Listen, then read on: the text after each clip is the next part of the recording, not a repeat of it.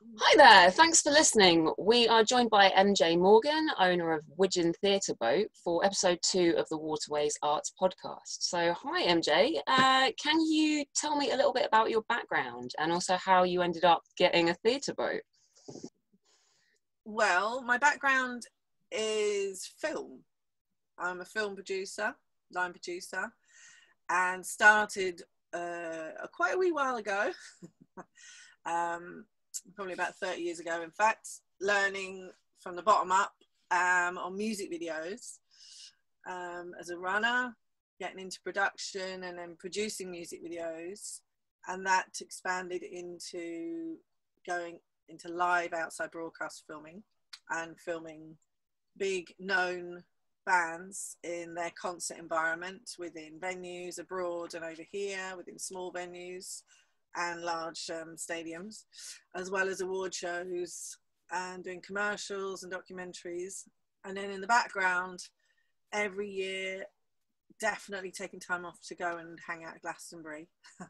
And managed to very, through friends, um, kindly introducing me into the theatre and circus field, literally about 27 years ago. I managed again just to kind of you just help out. In those days, it was just like stick some pigtails in the ground and stuff some tape out and put your high vis on and protect people and literally everyone jumping in and volunteering. And it kind of still is like that, but it's a one big happy family mm. of generations of people now working. But because of that, I've been lucky enough to build some great friendships, some long lasting friendships, both with colleagues and artists, promote uh, performers, theatre artists, circus artists. And stage manage now for them on one of what they call their riser stages, which is probably uh, before Arabella Churchill passed, sadly, um, an inspiration of bringing the performers back to the street in a way, to the field, to the ground. The risers ethos is that you know what a lot of um, you know street performers love is the fact that they're with the crowd, they're there they're with the people, um, they're kind of calling them in and then doing their performance. Mm. And I think because of the mud that sometimes happens, these rises occur to give a safe space for technical side of things, but also for the performers. And it's kind of expanded from that. And it's now about five or six of them, and I stage manage one of those. Um, so in a way, I very much was inspired by both my film work in outdoor environment, which I love, and the theatre and circus environment and being able to platform their work. And I've lost track. it's a it's a fascinating transition. It's really interesting hearing you talk because I sort of originally asked you like how things went into you having Widgeon Theatre Boat and everything you were saying about having the risers and having like the performer there in the audience is very much what I see Widgeon doing and like bringing that spirit into performance. So it's it's fascinating to hear you talk about that transition and just sort of reintroducing the kind of I guess the well-being and you know the the for want of a better word the mental health of of making performance and hosting performance in that way that is really kind of nurturing in a, in a sense. Because I, I know because I do production management and tour management as well it, it can be very very stressful and it, it absolutely burns people out. And to do that in a way that embraces the community and embraces that feeling of having the performer right there is really exciting and interesting to me. Yeah and I think you've kind of reminded me thinking where I was going with my track, which was where's that got any connection to do with both? but what I found was for years being a Londoner, I'd always had this assumption, I have to say, that it would be very expensive to live on a boat. I also thought you had to have a mooring. And it's true to say that realistically, it's only been about 10 years. It's not been that long that people can continually cruise. Mm. Um, so it is still quite a new thing. Um, and as I had been made aware of that, I was like, oh, actually, this dream could be feasible. And went through the finance and saved and saved and thought, actually, yes, I want to have a boat that I can live on when I'm over here. I've got a base, I can leave my stuff. If any fellow film colleagues want a place to stay, because also, like myself, they'd chosen to move out of London for a better quality of life as well. Because in production, as you know, as you were saying, it's very, can be quite stressful. Um, and so it's important to try and juggle that and make sure you have that fine balance that you've got a space you can breathe in to be able to come back into the chaos and then go away again and then come back into the chaos yeah. um, and i think we all live on that high as well you know it is quite um, it is a bit of a roller coaster i think and boating life in a way i embraced because it sets another set of challenges but good positive set of challenges as an individual you're going ah right okay i'm steering this thing on water. How do i do that? Help. Um and through having to ask for help and like oh god i'm in the middle of nowhere. How do i get to shop? I'm of the background um, where we did talk to neighbours next door. We did knock on doors. I played in the streets. You know, we used to skateboard with the kids across the road, the football. Yep. I think over the time in London, what I was one of the reasons, in fact, I moved away was I felt the community was disappearing and I really missed being a part of that community. For me, community is really important. And being a part of it and i'm not somebody very good at sitting in the background.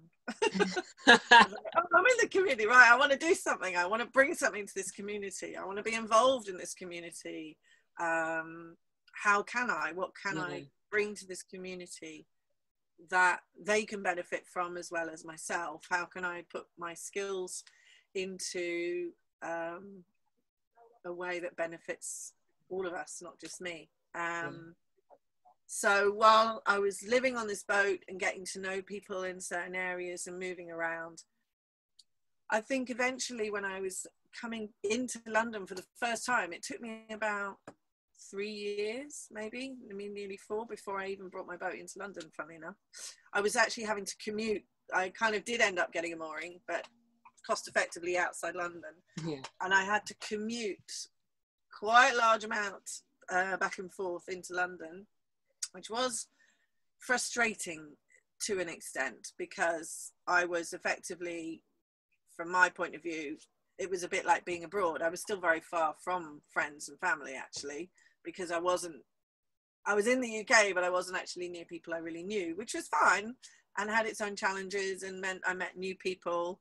Um, and in a way, enforced that you've got to get to know a new community, which was fantastic but um, from a practical point of view the commute was long and tiring and you're already tired from production. So i definitely felt no i need to get on with this and move the boat. So when i took the opportunity i did. And as i did i got to go to the boat festivals Ricky festival for example and meet some of the guys on the traditional boats and these huge boats. And i'm seeing the lovely coal boats and i'm going but that makes a great stage doesn't it open and I can put boards across it. And I could maybe even have two of them together and we can have a fantastic open air stage. Why haven't we done this? Why hasn't anyone done this? Oh, I know, I'll do this. um, and one of the coal guys, I'd been telling, so when I first went to Ricky Festival, this, this whole concept was evolving in my head a lot and it was really, you know, bubbling up so I utilised the opportunity and spoke with existing boat traders um, and existing boaters who ran venues by the waterside as well. And just threw the idea out there to see what people thought. Was it something that they thought? And obviously, and most people were really sweet actually. We're like, yeah, it's brilliant. Yeah, it's great. Go for it. And then one or two boaters were like, hang on, MJ, is this going to make you any money? That's just kind of boasting generally. There's like everyone's really encouraging, and there's always a couple of like, no. Well, it's no, I have to say, you need those people because there is a reality there. You, I have an ethos that, um, as much as I've been incredibly lucky, especially when I came into London with Widgeon, um, and there was very much some key voters who offered a lot of time and energy to me for free. I do not, um, I I do not like to feel that people are not paid. I think it's very hmm. important that people are um, recompensed for their time and energy. And as much as I know, and the problem I feel with art and theatre, um, it's so easy to get involved because you love it and you do. And I think that's very, it's very true. It's why we do it. We're passionate about it. But it isn't a hobby. It's a job. It's a lot of hours that go into it a lot of energy. And i think it's very important to reward people not just by letting them you know get involved and seeing the play and feeling a part. You know they need to be um, recompensed with um, an earning as well.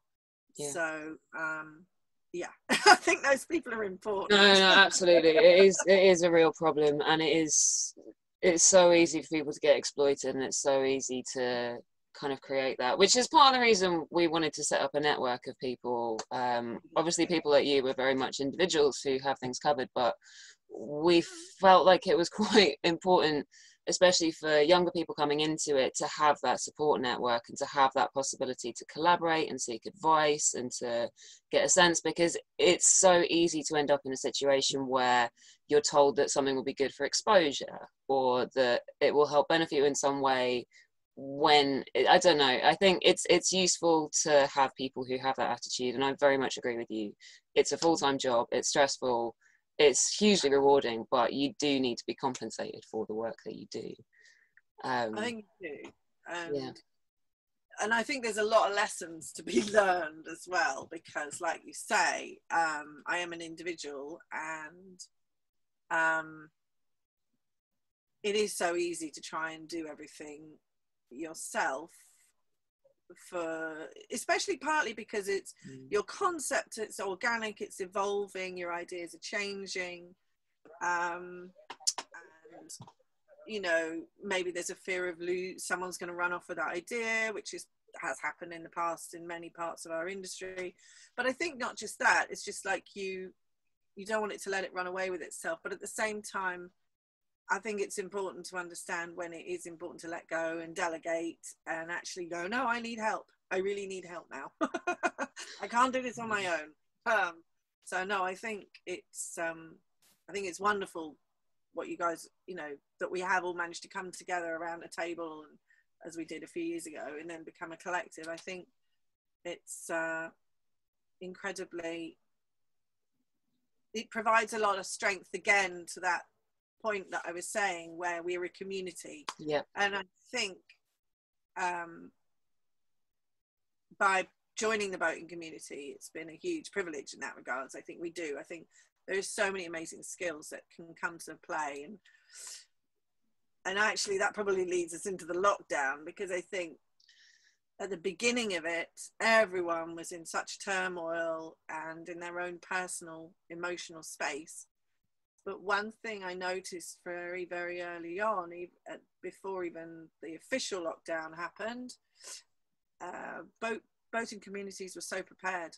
WhatsApp groups were already created. People were reaching out and going, right, we're going to be here. You contact these people, da da da da. And we'll get food source here if you need it. We're key workers, we're not. And that was such a wonderful, warming feeling that if yeah. as a person on my own if anything happened i could do i could reach out and i think um, and sort of really puts for me the community up there in such a big way whether we have disagreements or um, you know, you're never going to get on with everyone. That's something I learned a while uh, ages ago when I moved to Spain. You know, you're going to reach out to the people that speak a similar language but it doesn't mean to say they're going to be your best friends but you will always look out for those people yeah. whether or not they're your best friends because at the end of the day we are human with you know we can help each other so yeah um, you just have to draw from everyone's strengths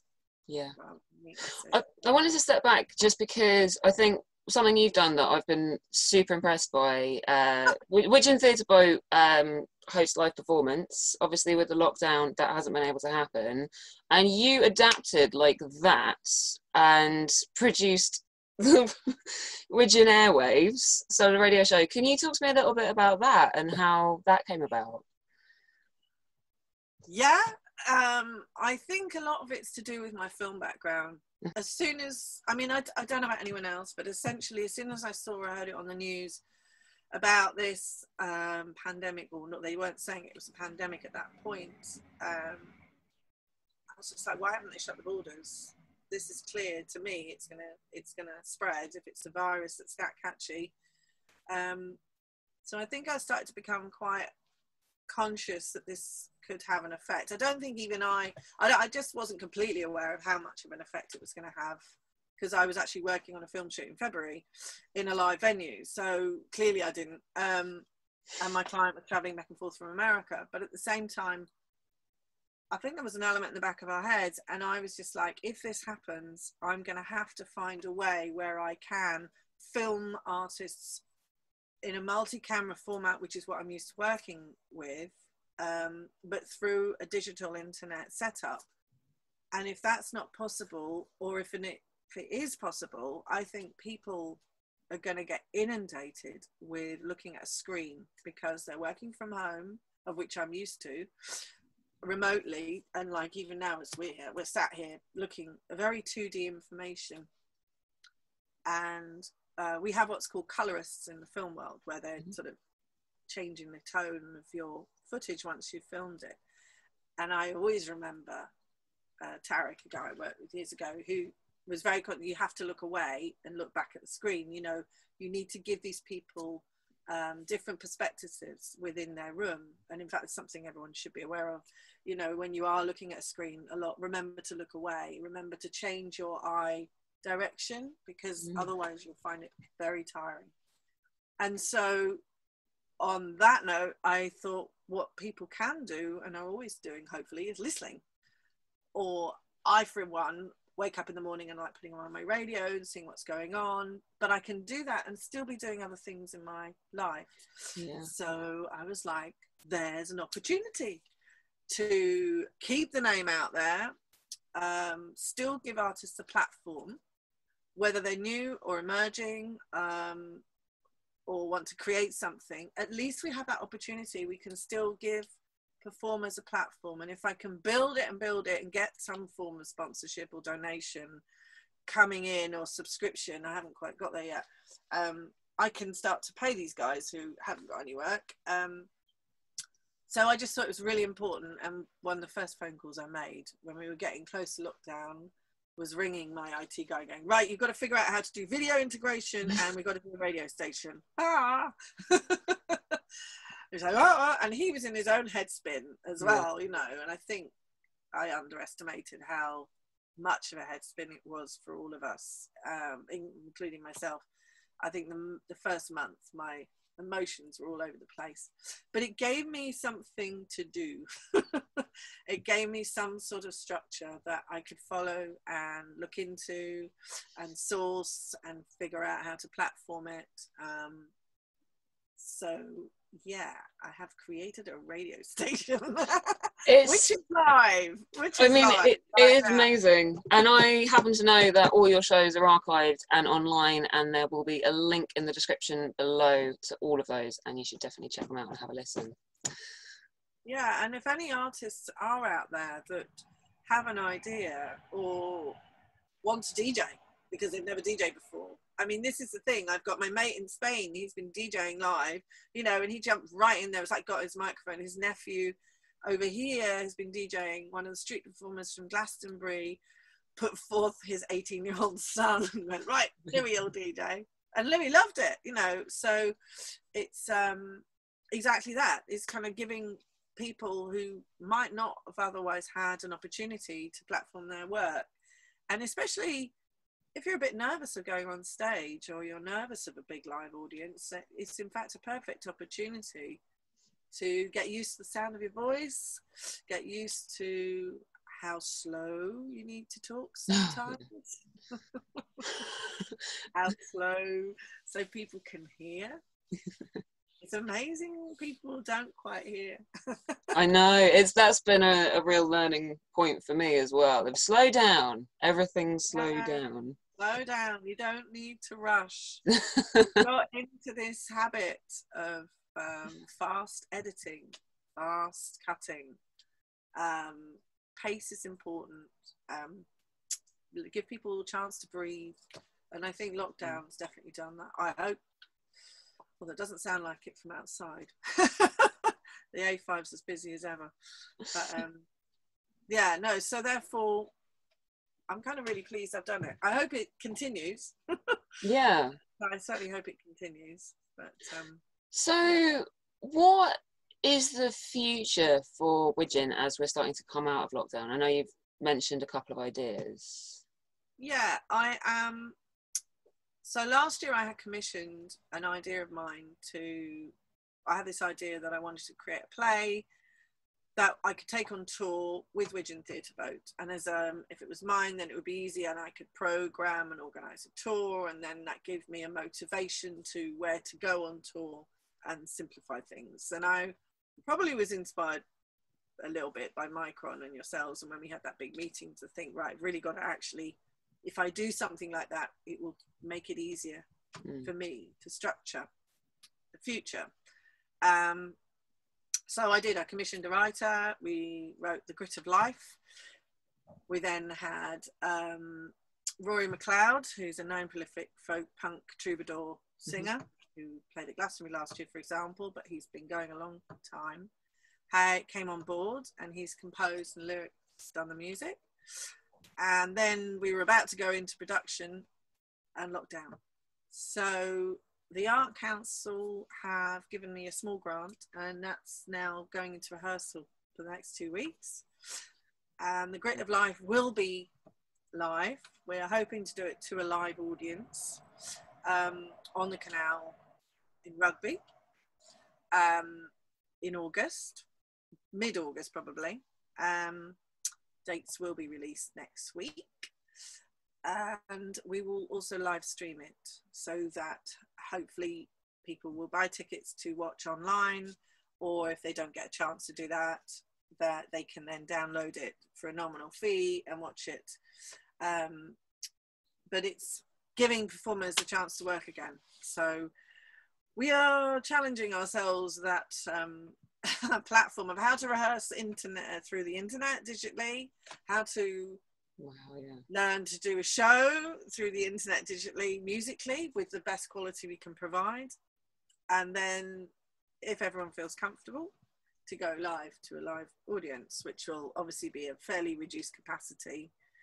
Um, but hopefully, at least there'll be people there to give um, the energy back to the, the performers as well. Um, mm-hmm. So that's um, in the present future and then going forward i really hope to be able to gain funding to be uh, put a lot more energies in promoting the radio show and gaining more shows within that and programming some live music events as well i'm a grassroots venue so i really do want to continue being able to platform um, up and coming artists and emerging artists of all kinds so um, I'm in the process of trying to put together a program that's real, um, that can potentially we can take either where I am, which is north, and up to Coventry, Birmingham, and round through Market Harborough and back down, um, and then into London, or we do it live stream. Depends on what's happening, isn't it? That's so exciting. It's really exciting, and I do love the fact that you've kind of just built in every possibility of there'll be a way forward, regardless. There'll be a way forward. um, it has to be.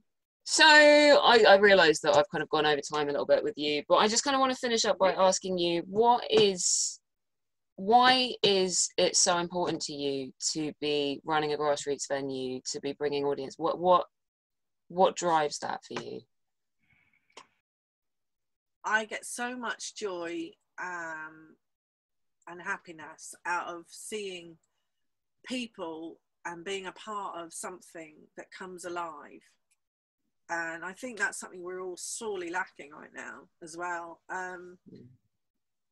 So there's no way I want to give up because I think that's so important.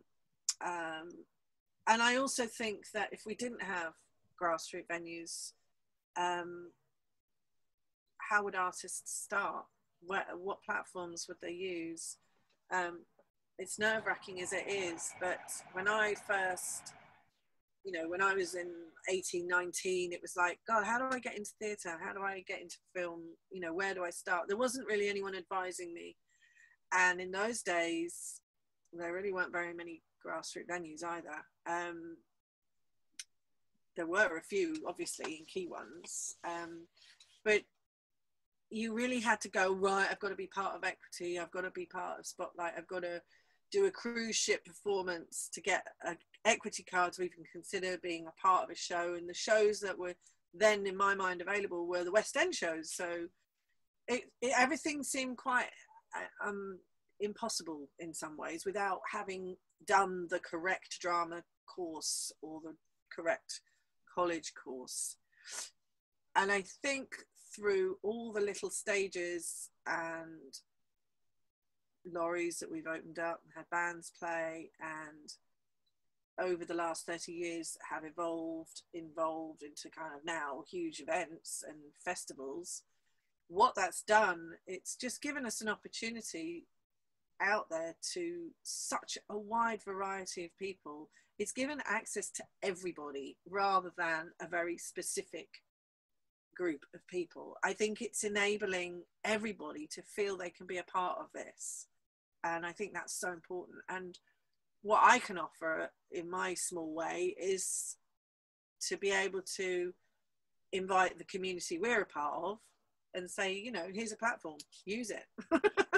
you know, why not? Um, let's invite people to who aren't used to being by the water or might be slightly nervous of people who live off grid or who travel you know it welcomes people to have a better understanding of how maybe to be more sustainable um, it welcomes people to come and enjoy themselves by the canal and in, can introduce them to the environment, the animals, the lifestyle. Um, but it also can give an opportunity to artists to platform on a small stage, showcasing their work to an audience that isn't thousands of people, but at the same time gives an opportunity to build credibility, build a review, test out their ideas to see what works, what doesn't work because I think it, it doesn't matter if you're well known or not. I've had well known people come in and test out new comedy shows before they go to Edinburgh, for example, for their previews, or um, musicians who've come up with a, you know, he did a Charles Manson uh, musical. that sounds a bit weird, but he did. Uh, and, but it was great because he could test it in front of a small audience and get very relevant feedback. Um, uh, puppetry for students in Angel Islington at the end of their school diploma were able to platform their work to passers-by and existing audiences and get a real feel for how it is to present a show to a real audience, not your, just your parents and your family, but to the public. Um, rock, rockabilly bands, um, musical singers I've put in the boat and had them singing, and they're like, oh, this is a different environment. Um, new artists for record companies in Camden during the um, Radio 6 festival in March. I just kind of like piggybacked it without the knowledge and called it Six Events Live and put a show on there. And in fact, Steve Mac was fantastic. He was like, he just laughed his head off and gave me a shout out because he thought, it was good for you. um, and we had uh, some great little artists come and sing from various um, parts of Camden. So it gave them an opportunity to test out the new songs. So I think it's grassroots are important. Yeah. 100%. If we don't have grassroots, then it just becomes so much harder to express yourself through your art, whatever whatever way that art is. Yeah. You know, and for me, the canal is. Um, I think it's a shame it's not celebrated more when it's got such a historical significance on how things um, evolved a few hundred years ago.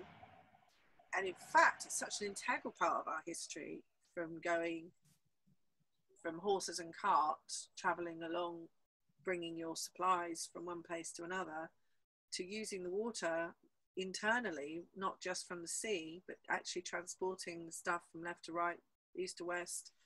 Um, and in a sh- it's a shame we don't celebrate it more. And within that, the artistic culture of the Roses and Castles, and the songs that they've probably sung and built up stories. So I hope my musical incorporates some of that, um, as well as highlighting the economical reasons that people probably live on a boat now. And I just think in itself, is there's that history too, isn't there? It was used before for cargoing. And now, yes, people might see it as far more of a, a leisurable activity, but actually, I think what's interesting is it's becoming also a necessity for housing, for the housing crisis, and for people who can't afford to have their new home, you know, starters. And I've been amazed to see how many people are having babies, and you've got like babies on board, haven't you? The Facebook page, and so I think it's it's generating a whole new community out there, which sets itself its own challenges. But then, therefore, we need we need art within those. Yeah no, absolutely. And, um, and get together. So definitely.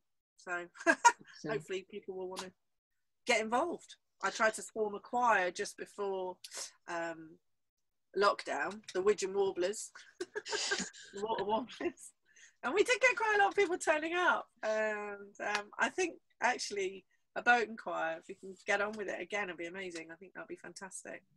That sounds great. interested to hear it yeah, yeah. So, amazing yeah, thank you thank you so much mj i have massively run out of time uh, thank you so much for joining me and thank you everyone for tuning in and we will be back introducing more people on the waterways arts podcast as the months progress thank you for having me